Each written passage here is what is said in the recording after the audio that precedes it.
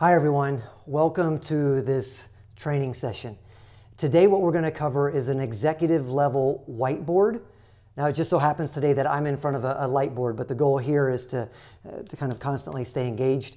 Um, remember that usually when you have this conversation, you're likely going to be in a room where you have a chance to ask questions of the people so you know specifically what the priorities for this business are because I tend to be in a lot of uh, enterprise conversations today, so certain things that may be patterns for me may not be patterns for you. The high level takeaway is that there's a certain set points that you have to get through. From a CXO perspective, risk, cost, and performance, this is ubiquitous. This should be across every segment, every vertical, uh, enterprise, commercial. Um, and on the OVH side, the idea of innovation, connecting these services, connecting to the cloud, uh, and then protecting these also. This should be ubiquitous really with OVH, and you need to take the conversation where it's going to provide maximum value for the people in the room. This isn't a repeat verbatim the way that Paul did this, but if you chose to repeat this verbatim, you would hit all the points and it should echo across a, a fairly wide audience. So remember, you may say things slightly different than the way I do, you may put things in a slightly different order than I do, and that's fine. You need to effectively read the room, read the audience, and just make sure that you hit on the major key points. So, with that said, the context for today's recording is I am talking to a group of executives. They are not really providing a, a dialogue back and forth maybe to the point where I'm asking them some general questions, they're raising their hand, but this is me talking to a, a room of, of CXOs and in general relating the common uh, business scenarios that we see kind of happening, and, and, and that's really the context. So, effectively now, I'm going to go into, um, uh, into role and then we're actually going to give this light board, and we'll close it down. Hi, everyone. My name is Paul Stephenson. I'm the field evangelist for OVH. In today's Lightboard session, we are going to be talking about the recurring themes that we hear from a business priority perspective. We're going to relate those downstream to the uh, to the IT department and specifically the infrastructure that those IT departments are running across. Then we're going to talk about OVH and the OVH value proposition and how and why we believe what we're building align to those business objectives. So, with that being said, the three most common themes that we hear from a CXO perspective, from a priority perspective, tends to be performance. And remember, this is performance of the business, right? And then performance is entangled with risk and costs. No business wants their company to end up on the front page talking about another security breach. And on the idea of costs, no business wants to waste money. So it's not so much that they're trying to drive all these costs out. Ideally, they would like to spend less for the same amount of thing year over year. But if they didn't save any money, if they could just move money that was keeping the lights on certain parts of their business into other parts that actually help grow the business, usually companies would be extremely excited to do that. Notice that this is a triangle. This is a triangle here today because these tug on each other. If you end up in a situation where you're saying, hey, costs are too high, many times you can reduce performance, possibly increase risk, and get down to the cost profile. It really depends on which one of these drivers is driving the decision making process. Let's just say predominantly today, risk seems to win. So everything I talk about with OVH, we're going to make sure that we relate them back to the, the, the business priorities today. So with that said, let's take just a minute and do a quick introduction of OVH. OVH is a global hyperscale cloud provider that offers business industry-leading performance and value. Vertically integrated, we own our own network. And I mean, we own the fiber, we own the switching and routing equipment. We have tremendous amount of control over our network. Next, we own our server technology, meaning we get bare sheet metal, we have a laser cutter, um, we have strategic relationships with Intel, NVIDIA, Supermicro, and the list goes on. We get the raw components that it takes to build our servers. We actually do some special things when we build our servers that allow us to operate at a lower power in our data centers as well. We do water cooling of all of our um, uh, x86 CPUs and GPUs. And last, we own our data centers and the technology in those data centers, meaning our data centers are extremely green because by doing the water cooling of our servers, we were able to get rid of air conditioning as central air conditioning in the building. And this allows us to be, number one, more green, and then tremendously more cost effective than almost anybody else in the world. By owning each piece in that global solution, it allows us to offer our customers the best performance, value, security, and customer service in the industry. So the three themes that you're going to hear from me consistently is going to be innovation, so at OVH, we innovate. We then take those innovations and we connect them globally, right? And lastly, we need to protect.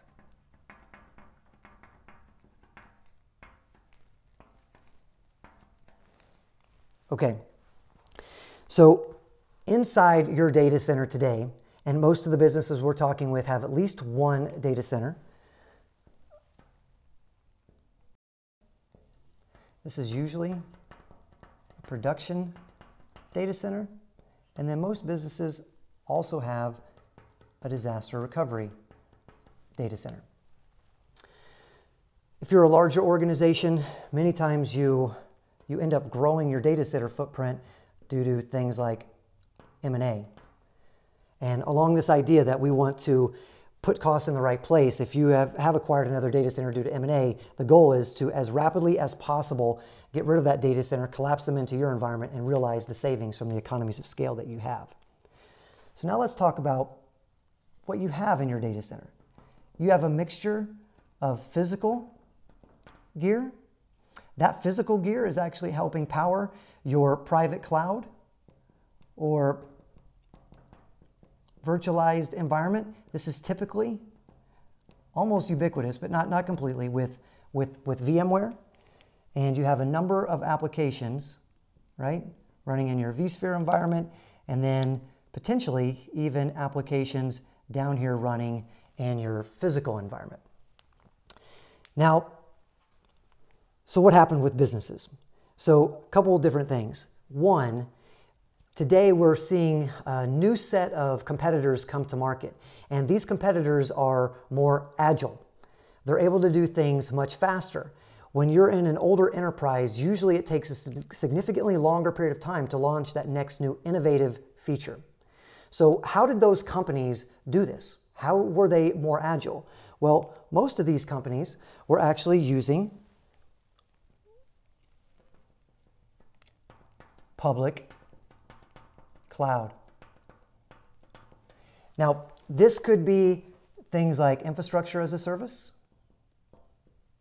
This could be software as a service, or this could be platform as a service, right? But, okay, so is the cloud the solution to all problems? Hey, public cloud exists, we're done. Everything else is just going to be easy.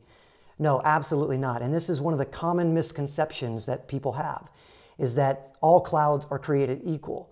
And the reality is, public cloud, the way that it initially came to market, was absolutely in no way the same, operated with the same attributes that you did inside your data center. Many executives that we've worked with over the last few years didn't fully understand that and would go full in on a, on a public cloud strategy to solve all of their problems. But when they went down and talked to IT and said, Great, move all my workloads to the public cloud, they said, um, yeah, you remember those VMware applications that we had? Um, I can't just move those to the public cloud. They're not running VMware in the public cloud. So this first idea of getting some easy wins with our, our current infrastructure on-prem just, just didn't pan out. So you're going, well, I still need to get to public cloud. I still need to work on these next generation kind of applications. What makes sense? Well, here's what we think makes sense. Number one, if you look at these types of things, usually companies are spending 80% of their resources on just keeping the lights on. So they only have, you know, 20% of their money to do some of these innovative things in the in the public cloud. Well, remember, costs. It's not so much that we want to reduce costs all the time. We would like to transfer some of this 80% over into this world, make this 30, 40%. Well, how am I going to do that if you told me public cloud doesn't allow me to, to move these workloads over? Well, this is where we're going to start to talk a little bit more about OVH. So at OVH, we do some very interesting things. We have three primary solutions, if you will. And those are, and we're going to say that this is OVH Data Center 1. And then we're going to say that at the end of 2017, this is OVH Data Center 27. So you can see the gap now between, between 1 to 27. So first, I'm running VMware on-premise today. VMware is almost ubiquitous in the data center. Really what I would like to do is I'd like to take these workloads that are running on VMware, I'd like to move them to a cloud so that I can get out of potentially shift from CapEx to OpEx, maybe if that's one of my business objectives. But from a risk and performance perspective, if I can keep the same teams that were running my applications on premise, running those same applications in the, in the cloud, then my time to value is cut down um, drastically. It's almost as soon as I can start to consume these resources, as soon as I've connected the cloud to on premise, I start to immediately realize value. And that's what we've done. So our first product is called, called Hosted Private Cloud. Now, HPC, not high performance compute, hosted private cloud. This is based on VMware. So now, if you think about this, Paul, can I move these workloads out to the cloud? And what we would say is absolutely you can, right? You can now take these, these workloads, we can go up here into our network layer, and we can pass these things up, and we can end up with the exact same virtual machines that were hosting your applications running on premise, and we can move those to the cloud. There is some technology from VMware called HCX that actually enables this. So this right here is a tremendous cost saver. And if time is money, this actually helps you minimize costs. It also minimizes risk because the same tools that you were working with on premise, if I can use them in the cloud, the risk of my team not understanding how to operationalize this new cloud is drastically reduced. And from a, from a performance perspective, this is very much in line with risk. If my team doesn't have to learn something new, they should at least be able to operate the cloud as effectively as they operated on premise. And we would tend to argue more so because now you're no longer taking care of hard disks and dealing with all the problems associated with the data center. Okay, so this was that first challenge. I want to be able to move what I have existing out to a cloud, and we can handle that. Second, when we think about this disruptive industry that we're in from a technology perspective, there is this idea of agile development. We've probably heard of the term DevOps. Now, this is typically what people think about when they think about public cloud, right? So our initial offering in this space is based on OpenStack. You get to leverage all of the OpenStack APIs from the general community. We have not spun up a special version of this. If your team is, is using OpenStack on-premise today and they want to immediately port what they're doing out to the cloud, they can absolutely do this. And you probably want to do this because managing OpenStack is extremely difficult. It only makes sense for the largest enterprise to manage and run their own instance of OpenStack if they're going down to the root level open source components to do so. Now, this really does help in that next generation cloud technology, but remember, we have physical servers down here still running certain applications, like databases, for example. This is what we have called dedicated servers. And this is effectively bare metal, meaning there is nothing else installed on them. And this is different than when you read some of the other uh, three-letter uh, cloud providers when you talk about dedicated server. And all it really means is it's an isolated server that's still running virtualization. This is absolutely nothing on a physical server where you have KVM over IP access, where you can come and install your own operating system with nothing to do with us at all. So, I now can take advantage of VMware the same way I was on premise. I can now start to satisfy uh, infrastructure for my, for my developers. And then I have these big, old, heavy systems um, that we're running on bare metal. We can bridge that gap as well. So when we think about on the innovation side, this is the first piece of the innovation from us. The ability to have all of these services with one service provider. The next major advantage is now that I have all these services and even potentially things running on premise, the ability to connect them. So OVH has a large global network and we allowed our customers to ride that backbone at no more cost than what's included in their subscription offering today. So no surprise bills. You need to access this network from an idea of cost containment. You can absolutely do that. Um, so connecting not only these services, but you'll notice how I drew this first line down here is the network. We have built our global network in such a way that you can connect every one of these services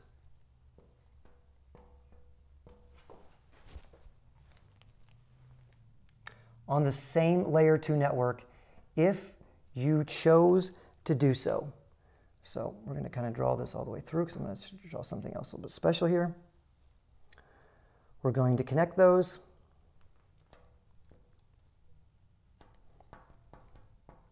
So I mentioned at the end of this year, we'll have 27 data centers global.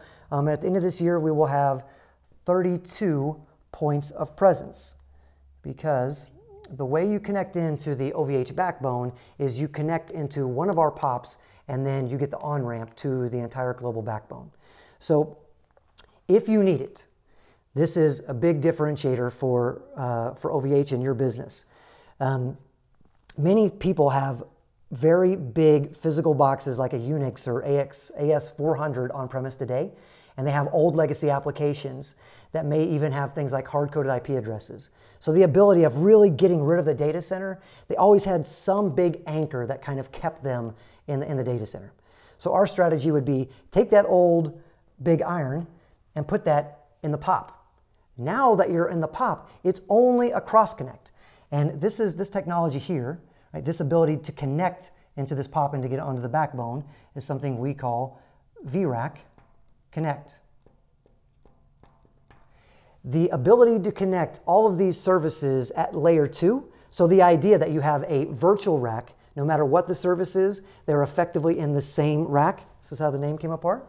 This is simply just called vRack the ability to connect all services globally on the same layer 2 network, even all the way back to your physical VLANs on premise today. Now, this technology starts to enable use cases like data center extension. If you know that you're going to have something on-prem and you're just trying to realize some of the, the economies of cloud, then data center extension is where you'll most likely be at. You'll live in this vRack connected uh, world for quite some time, maybe forever. If maybe through M&A or you're tired, you have very old data centers and you want to get out of the data center completely, this now, this strategy with putting your old physical gear in uh, one of our points of presence and then connecting into the cloud gives you the ability to completely move out of the data center. So the idea of data center migration or data center replacement. So now we've talked about some of the innovation.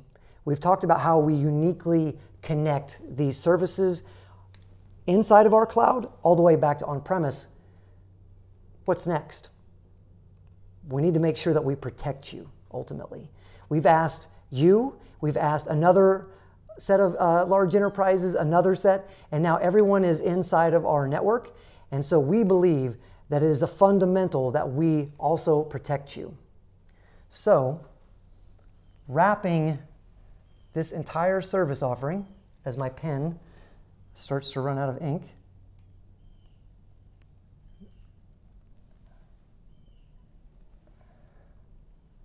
We do some very interesting things here. We have a anti-DDoS solution that will support up to a 3 terabit per second attack. So when we talk about this big network, the connection, the innovation, we were originally using an off-the-shelf solution, but it was actually not as performant as the solution that we created ourselves. So now we are going to put a lock. We are going to protect you from the outside, from those, from those adversaries, those large-scale uh, distributed denial of services attack up to 3 terabit per second. How we're going to do that is some of our own innovative technology and leveraging the power of our today 12 terabit per second global network. Because we have our anti-DDoS solution deployed at a few different data centers and we use BGP to automate sending your traffic to those data centers so that we can effectively filter it and never take you offline. Any of the cloud providers that say, as a part of us protecting you, we're going to take your systems offline, you might want to think about that for a second. Now, we're offering protection from a global perspective in the network. Additionally, at OVH, we're technology agnostic. We will take the best of breed technology from VMware, from example Veeam for, for backups, Zerto for cloud to cloud disaster recovery. When you think about protecting the perimeter, the next thing you say is, well, that's great. You protected me at the edge. What are you doing for me internal to the data center? And we are leveraging technology like VMware NSX. So the ability to use microsegmentation to protect the data center as well.